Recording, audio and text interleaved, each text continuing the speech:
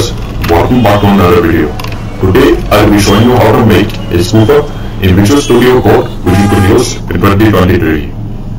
You first want to open Visual Studio Code. Now you want to start typing.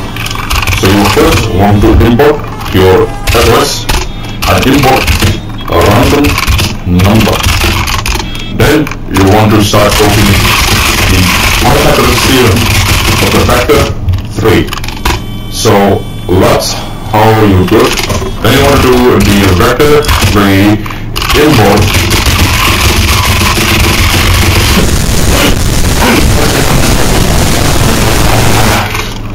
sorry about that guys, uh, but that was my dog.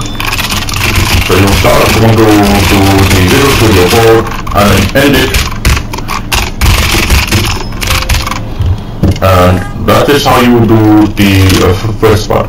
Now you want to save us and you want to go into your desktop and you want to save this as a bat file.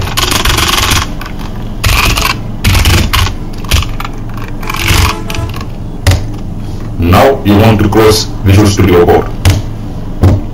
And now you want to open the bat file.